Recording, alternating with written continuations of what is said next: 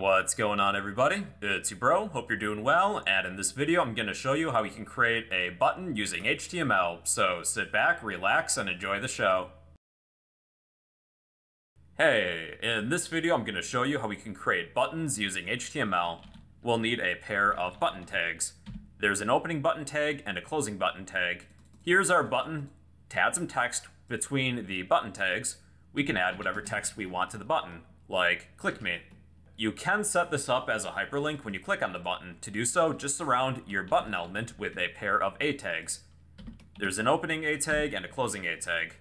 And I will set the href attribute of the opening button tag to a URL or relative file path of my choosing. To make this simple, let's set the URL to google.com. And then when I click on this button, it takes me to Google. You can disable a button by adding a disabled boolean attribute to the opening button tag, and we can no longer click on this button. If you know a little bit of CSS, you can add some CSS properties directly to a button by setting the style attribute equal to and list some CSS properties of your choosing. Let's change the background color. You can pick a color name. You can use RGB values or you can use hexadecimal values. I think I'll set this to a dark gray color, so maybe six threes.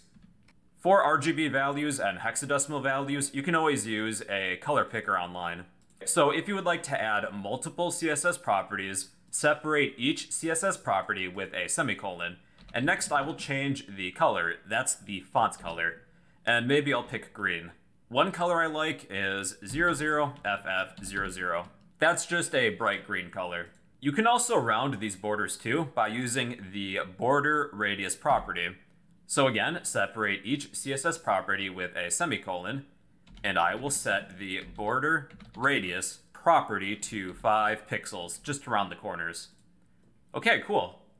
That's a pretty fancy looking button if I do say so myself, and yep, it still takes us to Google. Just by us using HTML, this adds structure to a web page, but it doesn't necessarily add functionality. That's where a language like JavaScript comes in. When we click on a button, we can have this button execute some function from a JavaScript file. I'll show you how we can create a very simple JavaScript program, but of course we'll cover this more in the JavaScript series. So let's get rid of this hyperlink and have our button do something else. There is an on click attribute that we can set to a JavaScript function. So we just place the name of the function between a set of double quotes.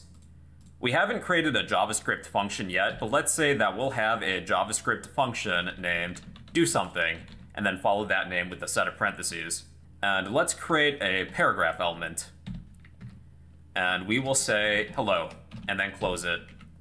With this paragraph element, I'm going to set the ID attribute equal to, let's say, test. Here's how we can code a very simple JavaScript program.